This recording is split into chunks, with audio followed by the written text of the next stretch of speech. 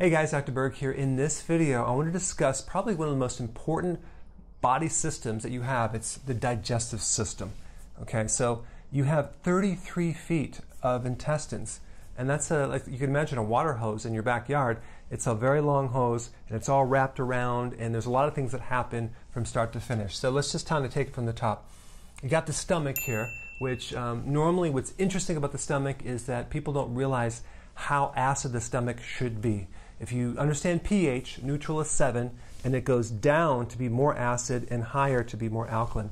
Um, for every number, let's say we go from 7 to 6 going down, that's 10 times more acid.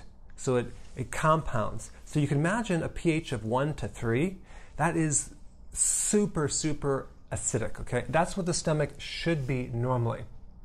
And the stomach actually helps you release, uh, the stomach releases, the acid triggers enzymes that then help you break down protein. So they have very powerful uh, proteolytic enzymes. So if there's a problem with the valve in the top of the stomach, then that enzyme gets up into the esophagus. It can literally digest your tissues up into your throat. Um, so it's that powerful. It helps you absorb minerals. Um, so if you don't have the right uh, acid in your stomach, you can't absorb like iron. You become anemic. Um, like even B12 will not be absorbing either, and that's another type of anemia. It also kills microbes because microbes have a hard time living in that acid. And even, even uh, H. pylori, which is a very nasty bacteria that causes ulcers and other issues, um, if your stomach is very acidic, that thing will stay in remission or not invade your, your tissues. Um, but if the stomach is not acid enough, it will not release these two other organs called the pancreas and the gallbladder. So what controls the pancreas and, and the uh, gallbladder is really the pH of the stomach. The pH of the stomach also controls the valve at the top of the stomach. So without that stomach being acidic, you, you can get GERD, acid reflux, and then people take antacids, which is the exact opposite.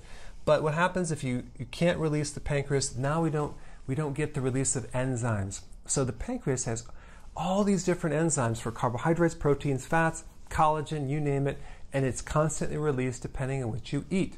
So signals from your mouth are telling the pancreas what to release and what to create uh, when you start eating. So, so we have this enzyme breakdown, and then we have the gallbladder release bile.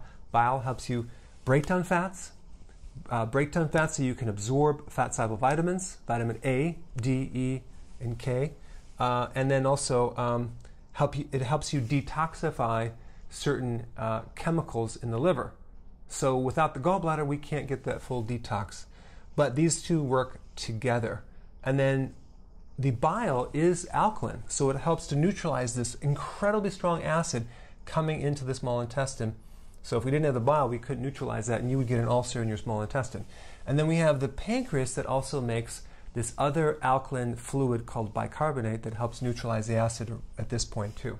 So we go from a strong acid to a very alkaline um, uh, fluid inside the small intestine. So the small intestine is alkaline. Okay, and it's so funny when people say, "Well, you need to be alkaline." Um, well, what part of the body are you talking about? Because your stomach better not be alkaline.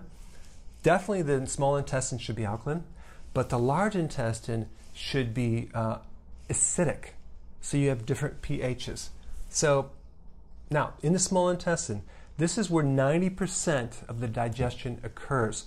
And you have help though. You have microbes. You have a lot of microbes. In fact, in your body, you have a a thousand trillion bacteria or microbes in your body, outside and inside. That's a thousand trillion. That's a lot. You only have a, a hundred trillion cells. So these bacteria or these microbes um, have, are 10 times more than your own cells. So if you take a body, it's mostly um, microbes. Um, so, but they're very small. So you don't, there's like probably about three or four, maybe five pounds of microbes per body weight. But the microbes basically help you break down your food and help so you can absorb the food. Um, there's thousands, tens of thousands of different strains of microbes in your gut. You have good bacteria, and then you have bad bacteria. They're called pathogenic. Now, antibiotics destroy both good and bad bacteria. What's happening now is the bad bacteria is adapting to the uh, antibiotics and they're becoming more resistant. So now the antibiotics don't work. But the good news is this that the good bacteria also adapts to the antibiotics. If it didn't, you'd probably be dead by now. So your microbes are very intelligent and they have developed new strategies of, of surviving. So if you take a, let's say someone comes in your house and they try to steal something, and then you take a bat and you whack them, right? Well, the next time they come in their house, they wear a helmet. So these microbes basically have different ways of adapting to survive. Um, one of the interesting strategies some of these microbes pulled off is they basically can mimic um, and adapt uh, to your vitamin D receptors. They mimic the vitamin D receptor. So when your vitamin D goes into the wrong receptor, it doesn't work anymore. So it's just it's fascinating because you need vitamin D for the immune system. So there's all these different types of strategies they use. Uh, one type of microbe adapted without a cell wall so they can move into the joints and then they can travel and they can do this and they can hide so your immune system can't detect them. Very intelligent, sneaky little guys. But thank goodness that our good bacteria also adapt. Um, so we have uh, 90% of the nutri- nutrition absorption occurs at this level. Um, what's other another thing that's interesting about this is that you have something called the enteric nervous system. So you have the sympathetic, which is the flight or fight. That's like the stress uh, nervous system, and then we have the parasympathetic, which is part of the rest and digest, which controls a lot of this too. That's that's kind of like the opposite of the stress nervous system. But then you have the enteric, which controls um, like all this intestines and the peristalsis, the pumping action of the whole thing. And if you someone cut your spinal column, for example, you could this will still work because it's an independent nervous system.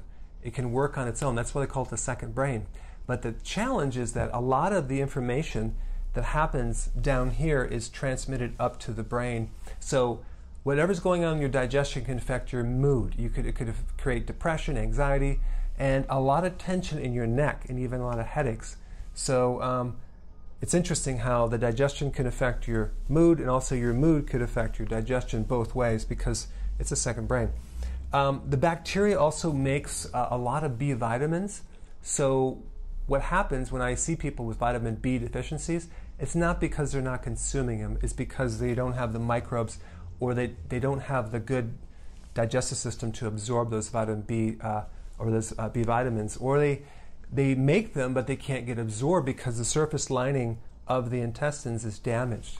So I'll, I'll get to that in a little bit, but what these microbes eat or consume is uh, fiber, uh, preferably when we want to feed them vegetable fiber, and they turn it into something called butyrate, which is a, a type of acid that then will feed the colon cells. So it's, it's interesting, these microbes actually exchange with us.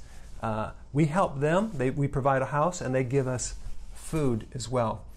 So that's what happens in the small intestine. And the large intestine is mainly uh, responsible for reabsorption of water and minerals, but this is where you have the highest concentration of microbes. So without the microbes here, you'll get diarrhea. Okay, um, the little uh, little roots that occur in the small intestine are called little villi. They're upside down roots, and that's where it absorbs. And you have like a million bacteria per millimeter, like a real small surface area. There's a, so many compacted microbes in there that are supposed to help you absorb. And right when it gets absorbed, it goes right into the lymphatic system. You, 80% of your lymphatic system is surrounding your intestines. So 85% of your immune system is really connected to your gut. And it's there as kind of like immigration to give these microbes a stamp of approval or not approval to not let them through. So there's a barrier there that resists microbes that are unfriendly.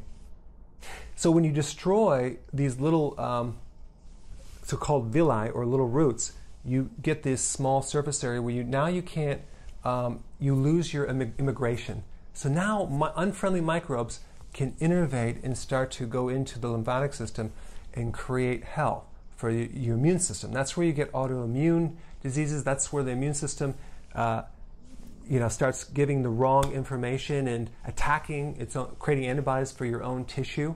It's like self-attack. So you have a lot of inflammatory conditions that originate from this lining that you lose the structure Okay?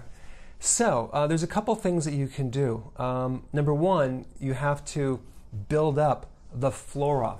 And I think the best way is to take something called effective microbes. I'll put a link down there. I'm not a, affiliated, I don't get any commissions or anything, but I'll put a link down there of effective microbes and you can check it out. But effective microbes um, is a symbiotic a group of microbes that um, basically all live on each other. So they kind of work together. And you want to take very, very, very small amounts starting out because if you have too many uh, unfriendly strains, you can create a war.